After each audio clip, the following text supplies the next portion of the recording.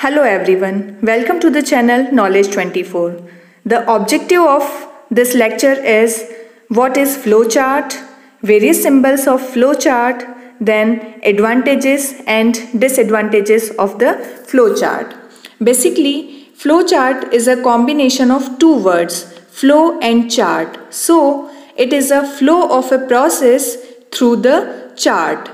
Now, the general definition of the flowchart is it is a graphical or pictorial representation of the algorithm. Here algorithm is a step-by-step -step procedure to solve any programming problem. Now to represent any flowchart we uses various symbols which describe the flow of information.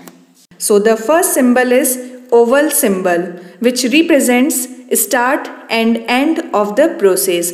This is always the first and last symbol for the any flowchart. Then the next symbol is the parallelogram. So parallelogram is used for the input output operation and it is used to get input from the user and display the result to them.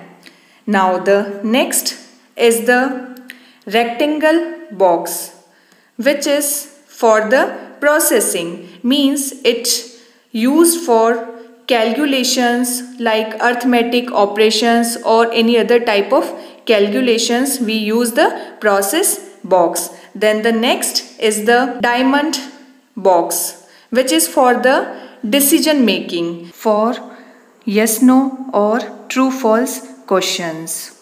Means for the if condition.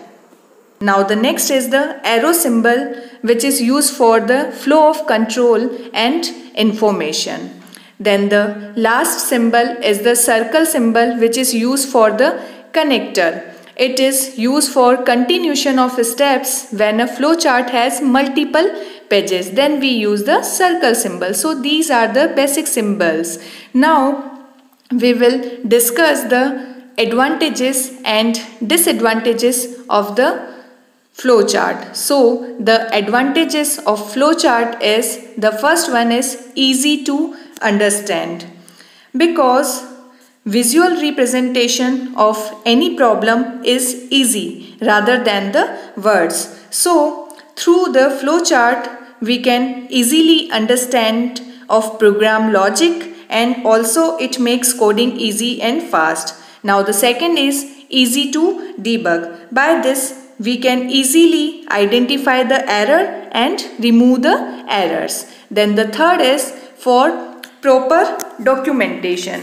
Means the flowchart works as a document for program flow and it is also used in future for any modification in a program. And the last fourth is effective analysis because it is used for efficiency efficient analysis like the solution is effective or not then any step used in unnecessary or how long it takes to complete the task. So these are the basic advantages of flowchart now we will discuss the disadvantages of flowchart so the first one is not suitable for the large program because for the large program it can be complex or confusing. Then the second is difficult to modify because modification may requires loads of rework in the symbols. And then third is the time consuming because of the use of various symbols in the flowchart.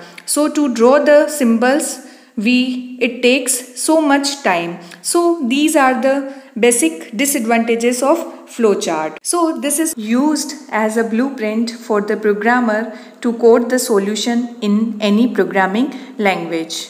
Thank you.